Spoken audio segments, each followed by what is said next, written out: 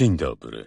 Zapraszam Państwa na wspólne zwiedzanie Muzeum Przemysłu Naftowego i Gazowniczego imienia Ignacego Łukasiewicza w Bubrce, zlokalizowanego na terenie najstarszej w świecie kopalni ropy naftowej. Przed nami widać szeroką, wyasfaltowaną aleję z wystawą maszyn i urządzeń wykorzystywanych w przemyśle naftowym i gazowniczym w drugiej połowie XIX i w XX wieku.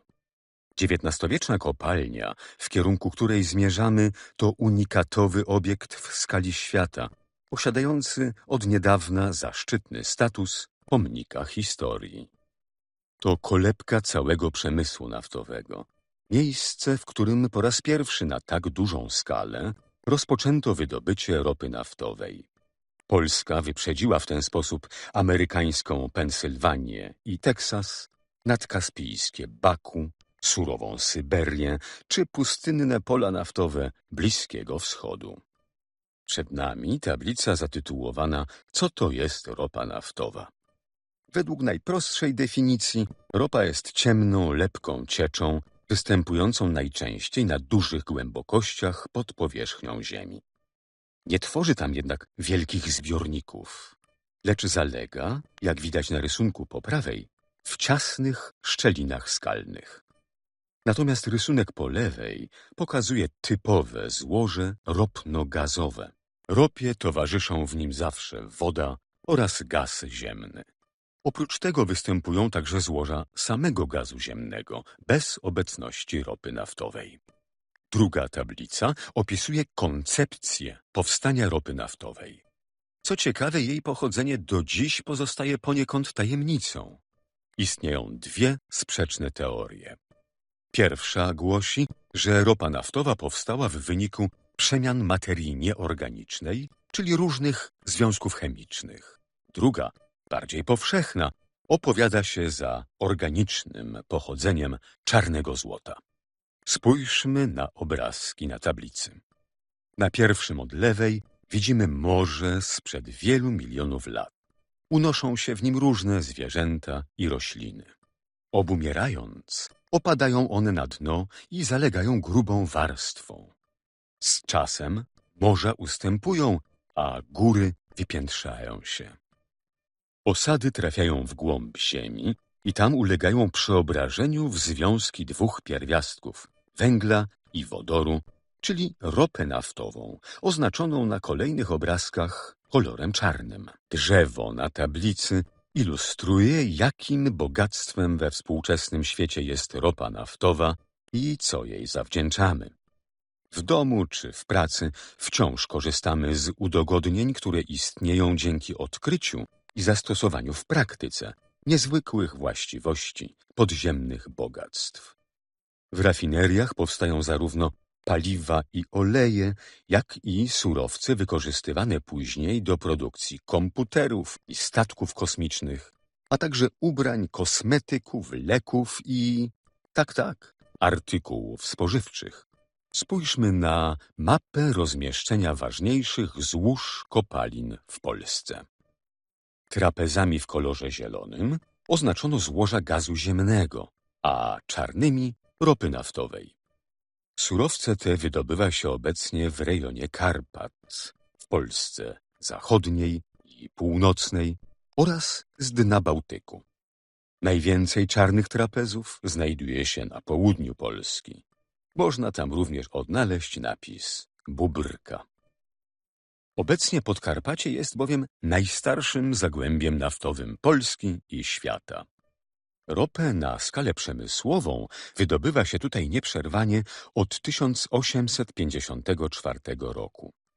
A zapoczątkował to wszystko pewien niepospolity człowiek, patron naszego muzeum, Ignacy Łukasiewicz. Przed nami popiersie Ignacego Łukasiewicza. W historii zapisał się on jako pionier przemysłu naftowego, wynalazca, przedsiębiorca i dobry człowiek.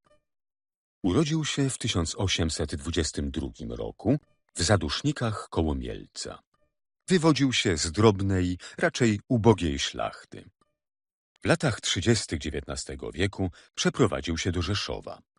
Z powodu ciężkiej sytuacji finansowej ukończył jedynie cztery klasy gimnazjum i jako czternastolatek rozpoczął pracę w aptece. Dopiero później udało mu się ukończyć studia i zdobyć tytuł magistra farmacji. Pracował w Łańcucie, następnie w Rzeszowie. Wreszcie trafił do Lwowa. Tam zatrudnił się w aptece Piotra Mikolasza.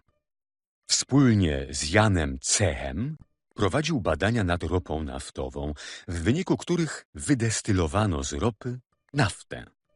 Następnie wynalazł lampę naftową, a niedługo potem wraz z Karolem Klobassą i Tytusem Trzecieskim założył w Bubrce pierwszą na świecie kopalnię ropy naftowej.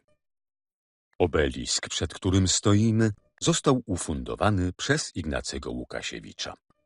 Na tablicy widnieje napis, jeszcze w starej polskiej pisowni, dla utrwalenia pamięci założonej kopalni oleju skalnego w Bubrce w 1854 roku.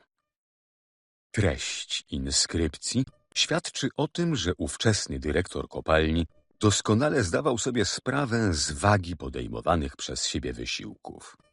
Pisał on przecież olej skalny to przyszłe bogactwo kraju, to dobrobyt i pomyślność dla jego mieszkańców. To nowe źródło dla biednego ludu i nowa gałąź przemysłu, która obfite zrodzi owoce. Droga do bogactwa była jednak wyboista. Najpierw olej skalny, jak w XIX wieku nazywano ropę naftową, trzeba było w dużych ilościach wydobyć na powierzchnię. A zadanie to, jak się wkrótce Państwo przekonają, wcale nie należało do prostych i bezpiecznych. To kopanka Franek, najstarszy czynny szyb na kopalni w Bubrce. W powietrzu unosi się wyraźny zapach ropy naftowej. Wydobywa się on z wnętrza studni, w której czarna powierzchnia cennej cieczy zdaje się wrzeć. To pękają bąbelki gazu towarzyszącego ropie. Ciekłe, czarne złoto błyszczy też w ustawionym tuż obok wiadrze. Franek został wykopany ręcznie do głębokości 20 metrów. Kopanka, pomimo upływu lat, nadal napełnia się ropą naftową. Pierwsze ropne studnie drążono prymitywnymi narzędziami, żelaznymi sztangami, kilofami, łopatami. Były to otwory o przekroju kwadratowym, zazwyczaj półtora na półtora metra. Ściany studni zabezpieczano przed osypywaniem drewnianymi cembrowinami. Wszystko robiono ręcznie. Przy użyciu kołowrotu człowiek zjeżdżał na dno studni w drewnianym wiadrze, spuszczanym na linię. Praca kopacza była bardzo niebezpieczna. Na dnie panowała wysoka temperatura, brakowało też powietrza. Dlatego przy pomocy dmuchawy tłoczono je przewodem zbudowanym z desek. Do oświetlania górnik używał specjalnej lampy z siatką Daviego. Lampa górnicza umożliwiała także wykrywanie obecności metanu. Kiedy już dokopano się do złoża ropy, wydobywano ją na powierzchnię za pomocą wiader i przelewano do ogromnych beczek. Następnie mniejszymi beczkami wywożono do destylarni. Pierwszą założył Łukasiewicz w 1856 roku w Ulaszowicach pod Jasłem. Nieco później powstały zakłady w Polance i w Klęczanach. Pierwszą profesjonalną rafinerię uruchomiono w Chorkówce, prawdopodobnie w 1865 roku. Jesteśmy przy kopance Janina. Wykopano ją ręcznie do głębokości 95 metrów. W późniejszym okresie, w 1878 roku, kiedy wprowadzono wiercenie udarowe, studnie pogłębiono do 156 metrów. Pomimo upływu z górą 140 lat, Janina nadal pracuje. Przyjrzyjmy się, w jaki sposób dzisiaj pompuje się tutaj ropę. W ogrodzonej płotkiem kopance widzimy rurę okładzinową, w której zapuszczony jest cylinder pompy ssącej na rurach dwucalowych. Do tych rur Na drutach pompowych zapuszczony jest tłok poruszający się w cylindrze za pomocą drewnianego żurawia, popularnie zwanego kiwonem.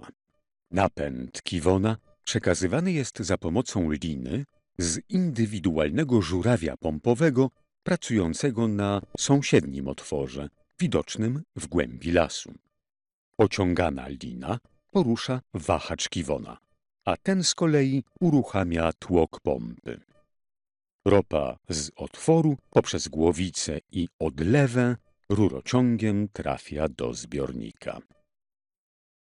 Wiele lat temu, zamiast silnika elektrycznego, liny ciągną mechanizm zwany kieratem pompowym, napędzany maszyną parową. Otwory podłączone były do niego przez system długich lin biegnących w terenie. Później zobaczymy ten mechanizm. Znajdujemy się przy wiertnicy ręcznej usytuowanej nad kopanką Adolf. Jest to konstrukcja Roberta Domsa, przedsiębiorcy naftowego z Borysławia. Zastosowanie wiertnicy na początku lat 60. XIX wieku było przełomem technologicznym. Umożliwiło bowiem drążenie otworów do większych głębokości, eliminując zarazem bardzo niebezpieczne kopanie ręczne. Za kołem widzimy długą rurę wchodzącą w ziemię. Jest to warsztat wiertniczy składający się z nożyc Fabiana, obciążnika i świdra. Wiercenie otworów za pomocą tej metody polegało na wykorzystaniu energii swobodnie opadającego świdra dłuta obciążonego stalowym prętem. Zasadniczym elementem były nożyce niemieckiego konstruktora zwane nożycami Fabiana. Zestaw dłuto-stalowy obciążnik nożyce Fabiana, który umocowany był na końcu wahacza, unoszony był ręcznie nad miejscem wiercenia na wysokość skoku nożyc i zaczepiany w ich górnym punkcie.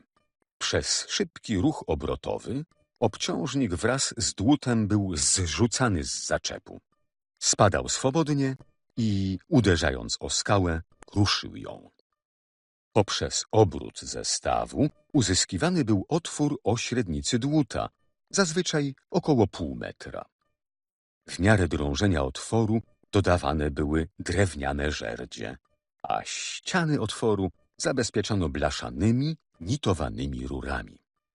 Po odwierceniu od 50 do 100 centymetrów wyciągano warsztat wiertniczy i zapuszczano łyżkę w celu oczyszczenia odwiertu z urobku. Łyżka to kilkumetrowa rura zakończona na spodzie klapą, umożliwiającą utrzymanie i wyciągnięcie urobku na powierzchnię. Do zapuszczania i wyciągania warsztatu wiertniczego na żerdziach drewnianych i łyżki służyło koło z nawiniętą na bęben liną.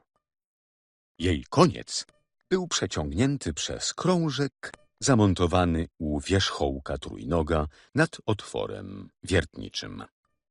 Jak się Państwo mogą domyślać, metoda ta była bardzo czasochłonna, ale pozwalała sięgnąć po ropę zalegającą na znacznych głębokościach.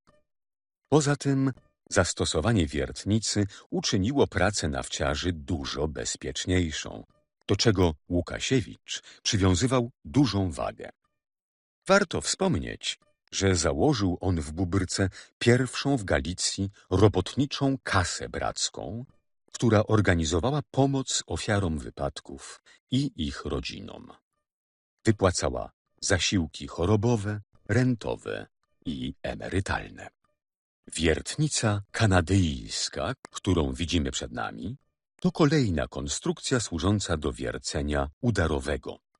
Nazwa metody pochodzi od Williama H. McGerveya, Kanadyjczyka, który jako pierwszy zastosował tę metodę w Galicji. Od oglądanej wcześniej wiertnicy ręcznej różniła się nie tylko wielkością, ale również rodzajem napędu. Wiertnica była bowiem napędzana przez lokomobile, wyprodukowaną przez zakłady Hipolita Cegielskiego w Poznaniu w roku 1881. Drewno spalane w kotle podgrzewało wodę i wytwarzało parę, która wprawiała w ruch silnik parowy nabudowany na kotle.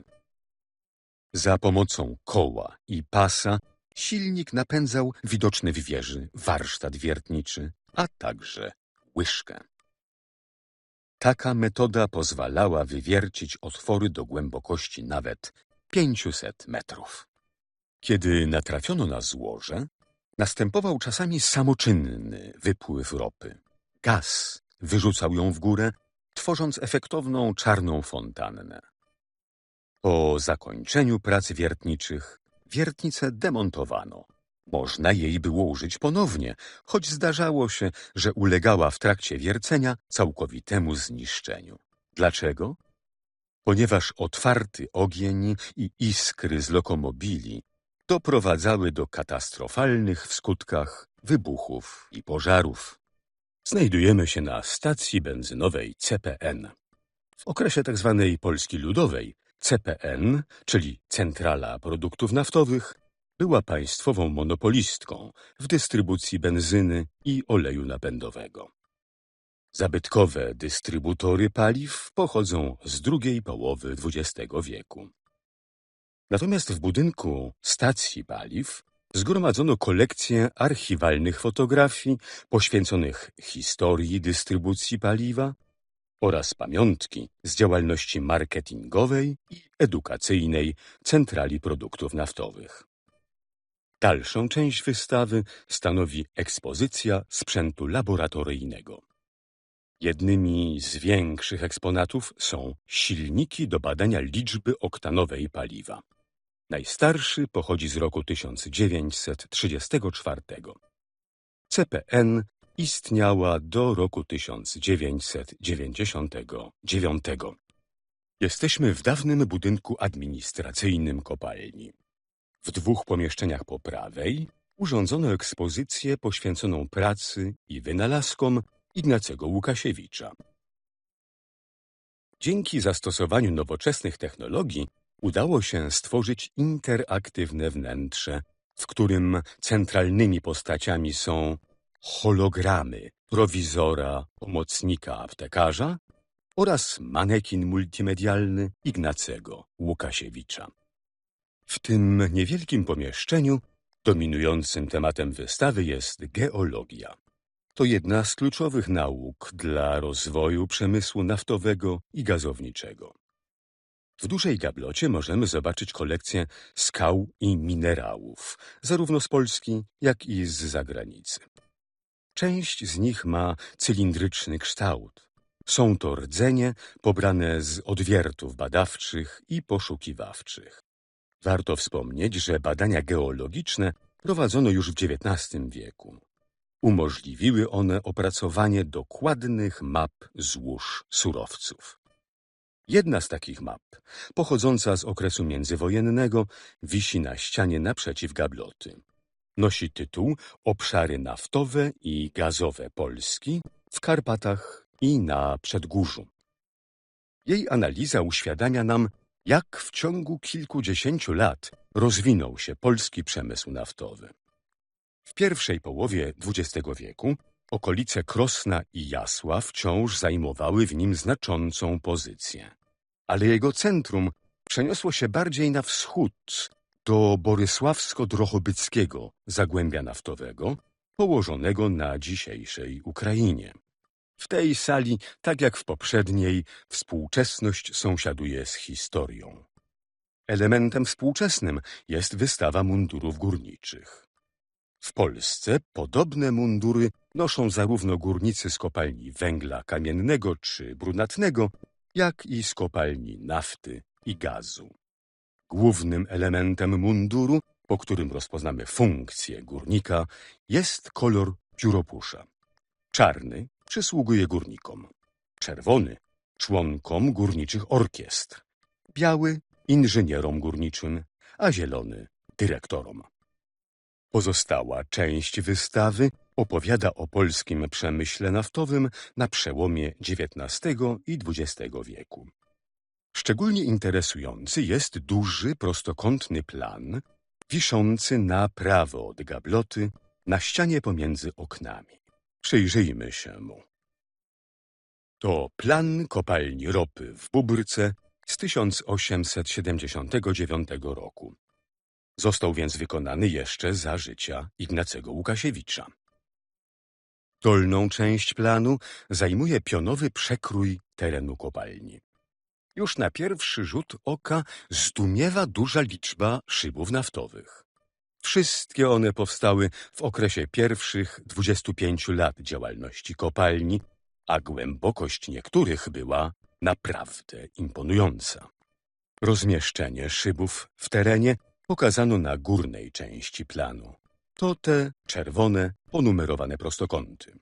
Oprócz nich widać pozostałe obiekty kopalni. Chociażby pod napisem w Bubrce możemy łatwo odnaleźć największy prostokąt, oznaczający dom, w którym się właśnie znajdujemy. Przypomnę, że urzędował w nim Ignacy Łukasiewicz, mieszkający na co dzień w dworze w nieodległej Chorkówce.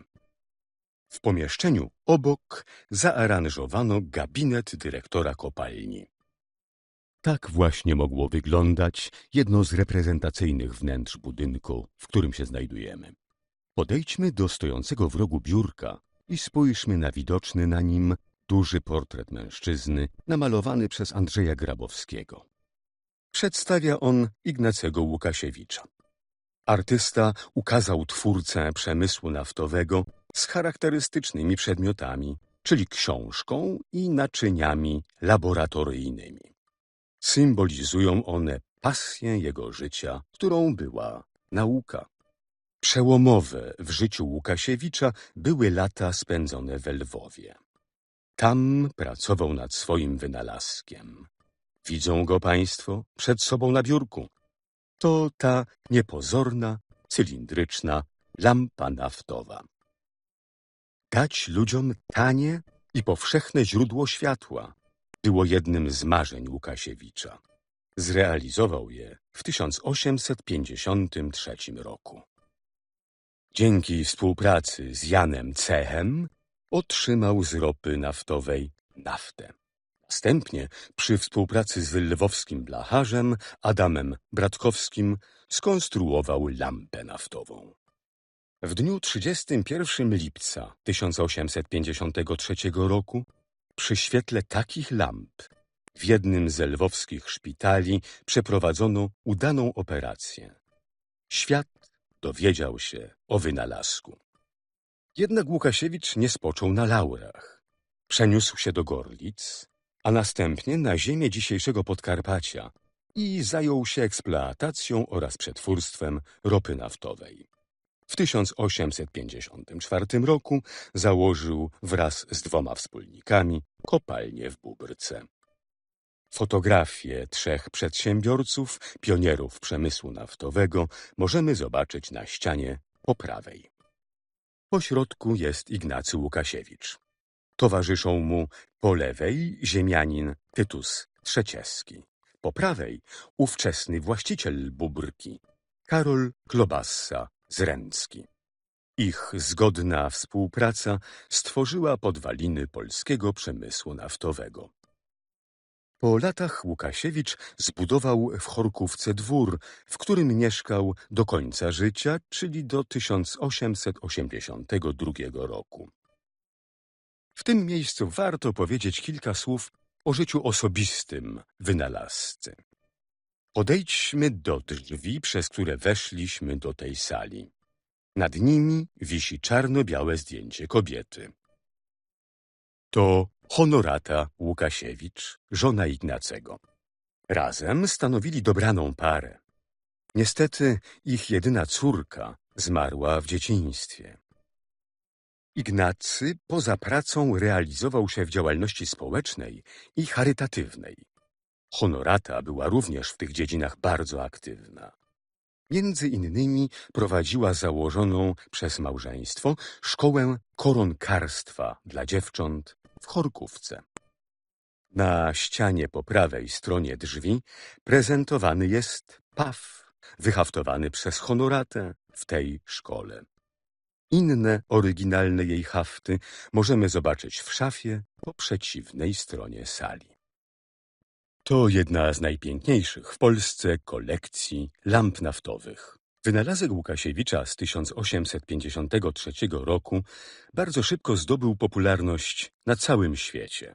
Lampy naftowe trafiły zarówno do pałaców, jak i do domów zamożnych mieszczan, czy pod strzechy ubogich chłopów.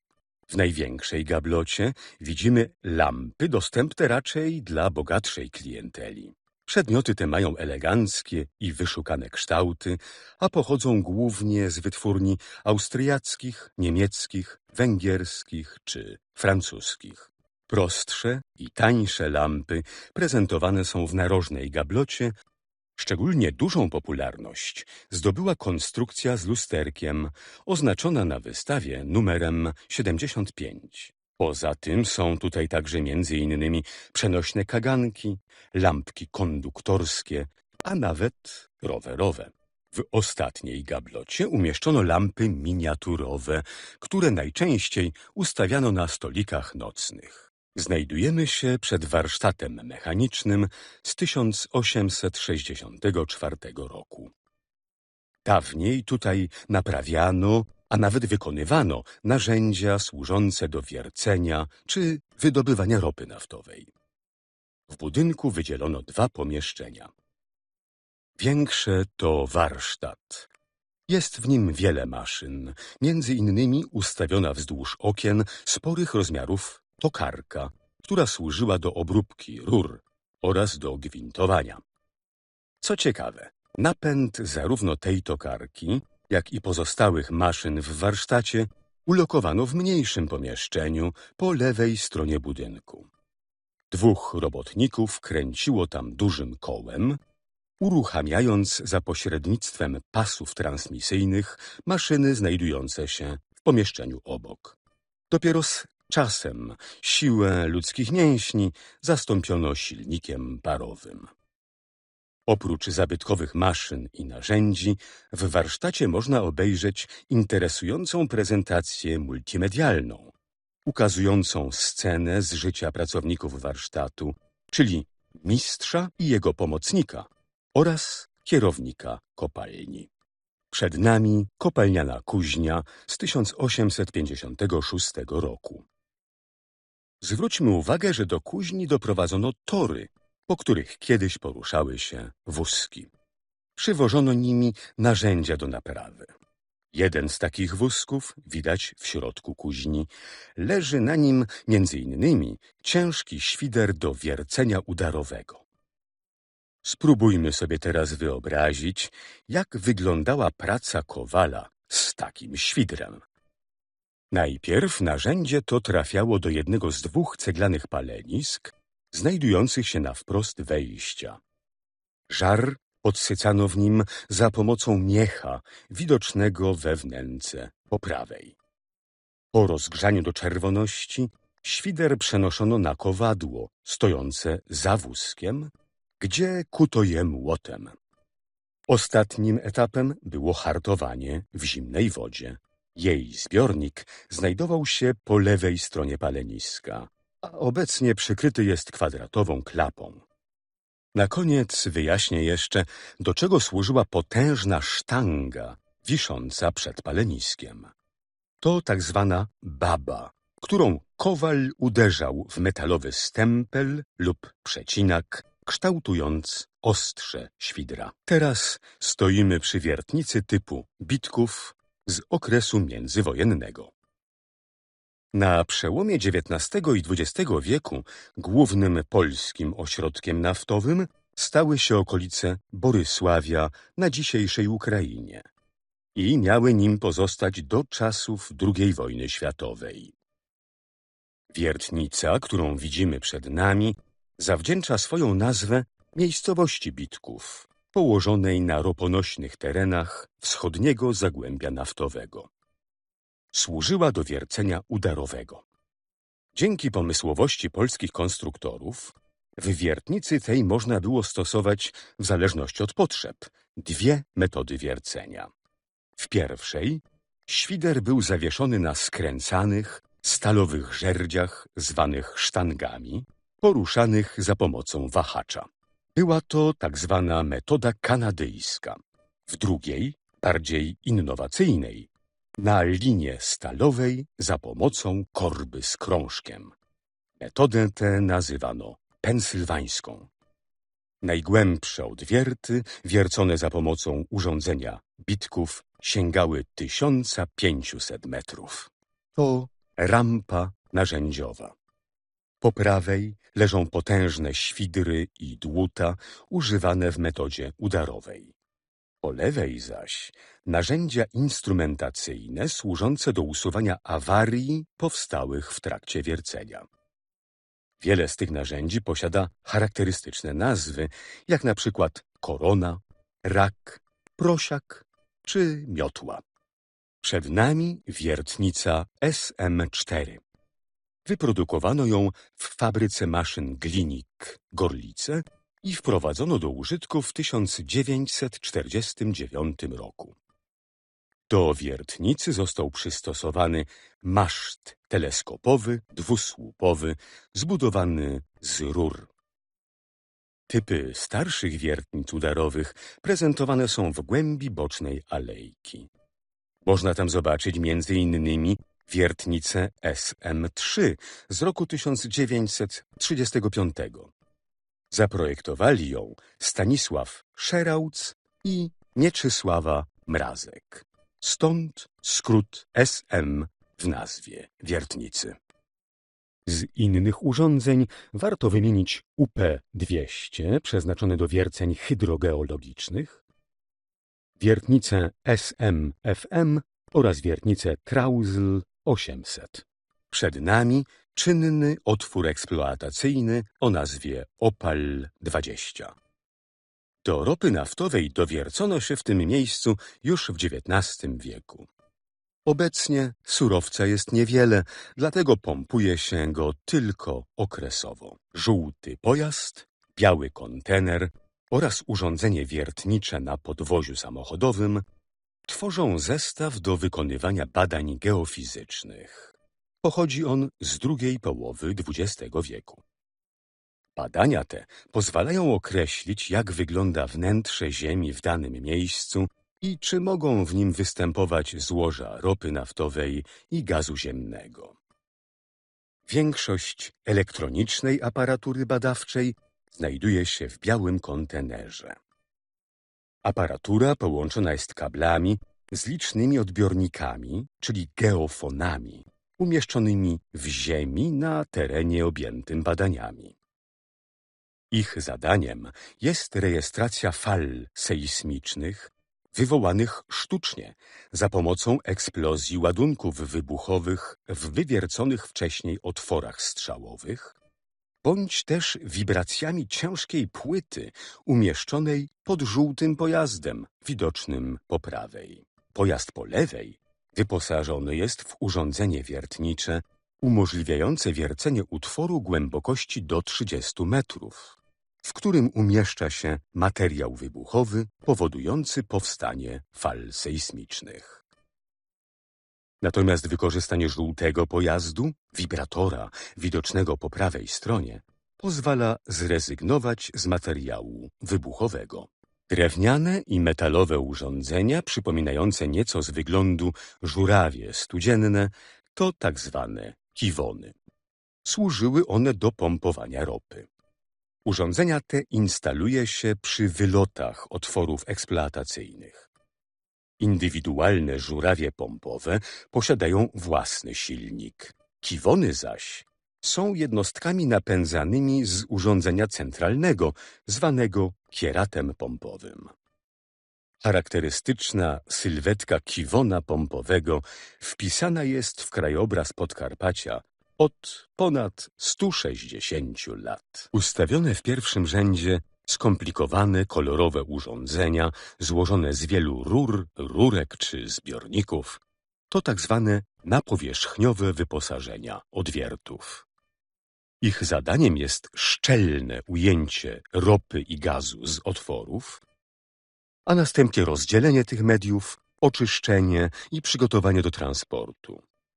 Natomiast w drugim rzędzie ustawiono różne rodzaje pomp, sprężarek i maszyn parowych. Trzy drewniane budynki, które widzimy przed nami, należą do najstarszych obiektów na terenie naszej kopalni. Pochodzą z lat 60. i 70. XIX wieku. W najmniejszym budynku po prawej, z charakterystycznym wysokim kominem, mieściła się kotłownia. Kocioł opalany był drewnem, a wytwarzana w kotłowni para wodna zasilała w XIX wieku wiele kopalnianych maszyn, służąc także do ogrzewania ropy. W dwóch sąsiednich budynkach znajdują się kieraty do grupowego pompowania odwiertów. Trzy dominujące nad skansenem wieże wiertnicze to od lewej OP 1200, Trauzl i wreszcie najwyższa wśród nich N1400S. Wszystkie służyły do wiercenia obrotowego. Nowoczesna technologia umożliwiła osiąganie rekordowych głębokości. Najgłębsze otwory, sięgające nawet 4,5 kilometra, wiercono za pomocą wiertnicy N1400S, która weszła do użycia na początku lat 80. zeszłego wieku. Warto podkreślić, że zarówno OP1200, jak i N1400S to urządzenia skonstruowane w Polsce, w niezwykle zasłużonej dla rozwoju przemysłu naftowego fabryce maszyn i sprzętu wiertniczego Glinik w Gorlicach.